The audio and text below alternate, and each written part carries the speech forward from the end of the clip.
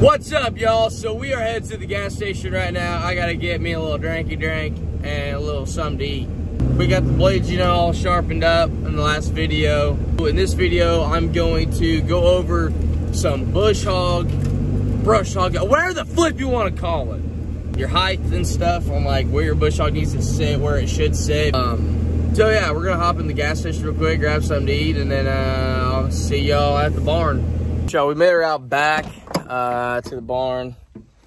Grab my tripod and um, yeah. Let the blue trot. Good. Uh, but we got the essentials: uh, tripod, uh, grizzly wintergreen gloves, water, and a cooler. Nice. Like I said, probably won't be going over too much um, with like bush hogging and stuff, but we will go over like um, setting your height and all that stuff and going over your bush hog, checking everything, make sure everything's good. Um, but yeah, so also, I mean, I'm not gonna say, you know, like go go chew, but if you do chew, uh, I'm just saying, like, if you just uh, do the do the thing, put that put that thing in the cooler. Nothing wrong with a cold chew at the end of the day, bud. Hell, here in about 10 minutes.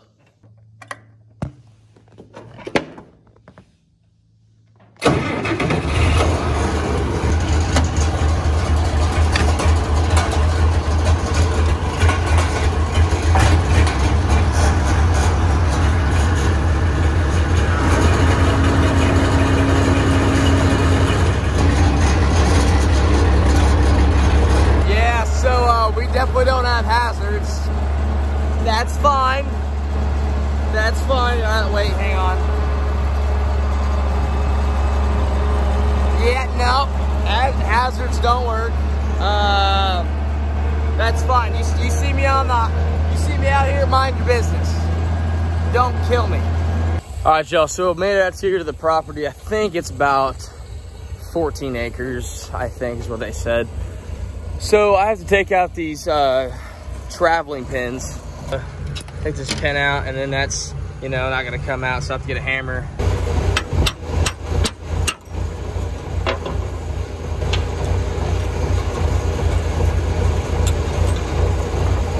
That one wasn't hard.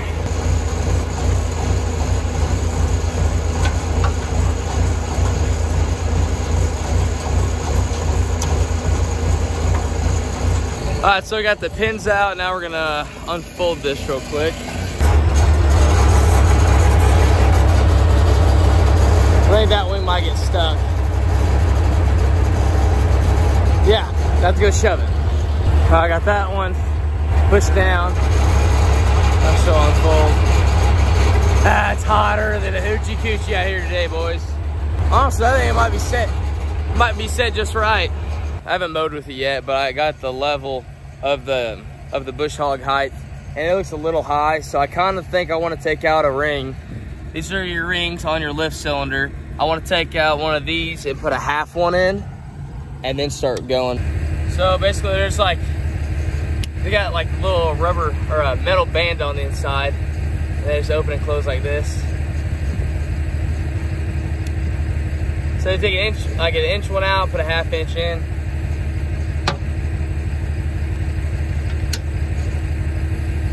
All right, so I know I'm gonna get sunburned today. I'm already tan, but uh, I'm gonna get burnt. I already know I am. But uh, bush hog looks good. Uh, I gotta get some quality H2O. Ah, should have brought more water. Anywho, here's the pasture I'm gonna be doing. Then uh, behind this barn, there's some uh, another section, but uh, yeah.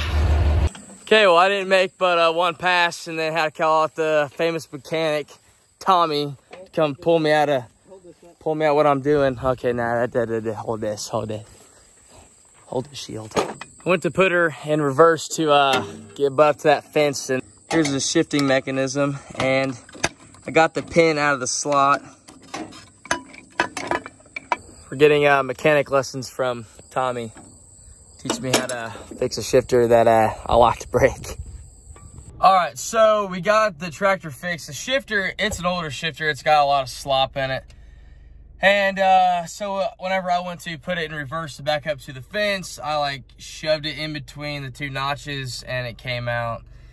So I had no idea even what happened. It just wouldn't shift into reverse. So we came home. I had to get some more water in my cooler because I drank all of it helping dad. So now we're heading back out to the field and uh, gonna go cut some grass. All right, so I made it back out here. Got my cooler full of water. Uh, I got a couple passes made. Um, so, see what this bush hog can do, I guess.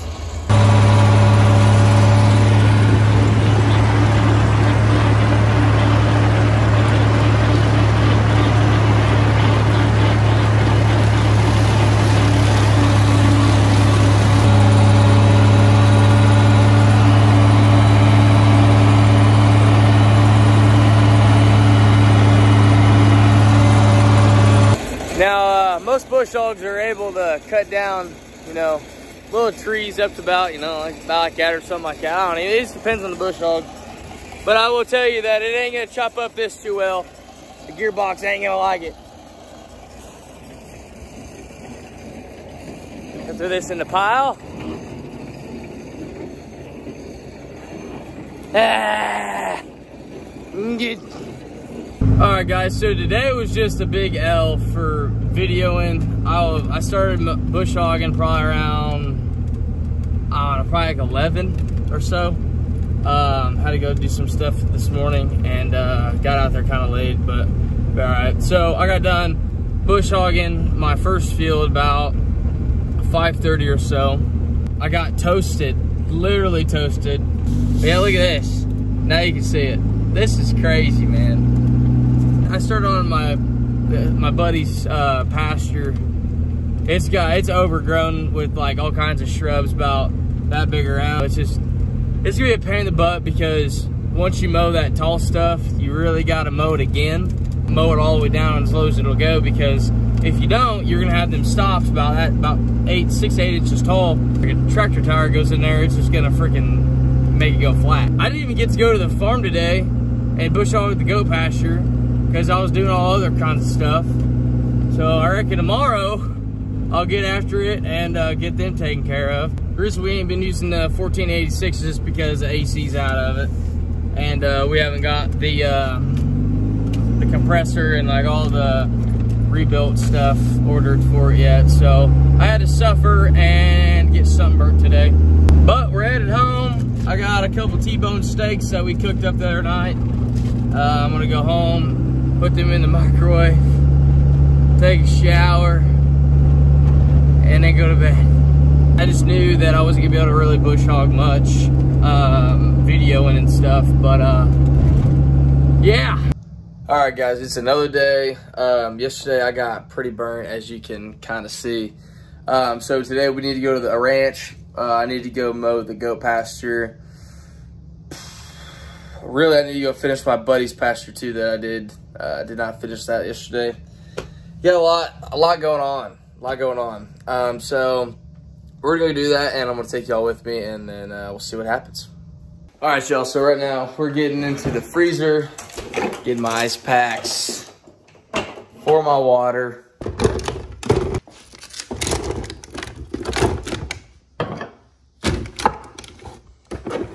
Yeah, I wouldn't have freaking gone either, puss. Let's go, come on. That's what I thought. Let's get it going.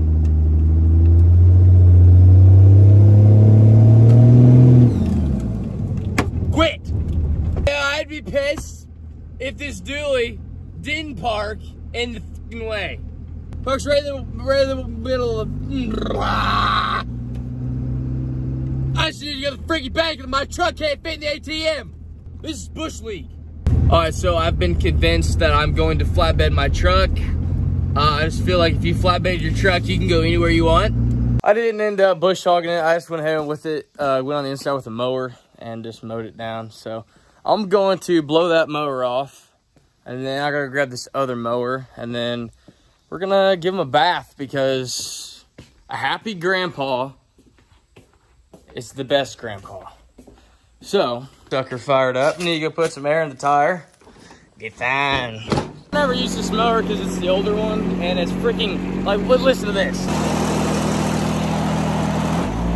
It's just, when it idles, it's the loudest thing ever.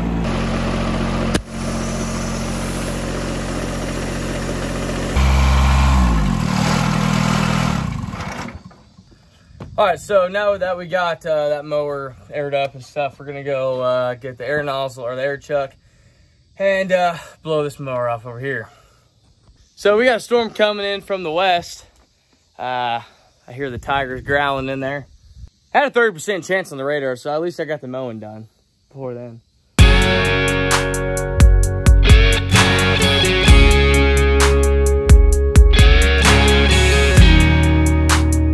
Mower blowed off. Um, like I said, I said what uh, YouTube videos, how my grandpa just doesn't clean his mowers when he puts them up. I, I don't know if that's just like an old person thing. But it's like if I use it and I don't clean it off, then he's all mad. So it's like if he goes out and puts out a bale of hay for the horses and it gets all muddy, he don't have to clean it off. But if I go out there and get it muddy, then I got to clean it off. And I'm the one getting bitched at. I just, what the flip's up with that, man? I'm just, I'm just out here doing the thing like he's doing. Ah. All right, so we're gonna go get out the steam washer and uh, wash this one off and then bring out the 740 and get her washed off.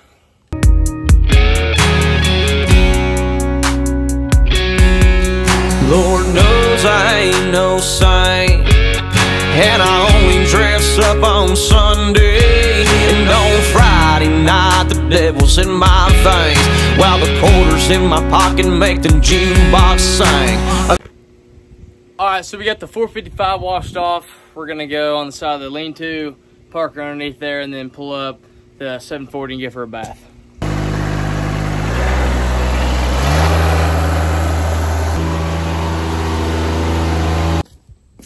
Booma! Ah. Water break. Quality H2O.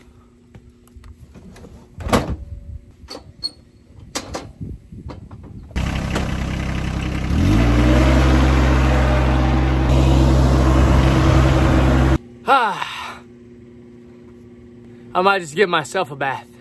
I don't know. Lonesome song on how I lost my way Down a one-lane path, nobody paved my way Had a lot of good times and a few heartbreaks always been a sinner, never claimed to be a saint. Ain't always been the guy that I am today. Me and Drew used to break into Mustangs In the middle of the night in Kingston Springs Then karma come around and cross my way. Grandpa passed, I got a little wild Started inking at my body every check I got Just sitting in the bar. Alright guys, got the 740 washed off. We're gonna go put her on the lean-to and uh, put these hoses up. And uh, I'll catch y'all inside the truck.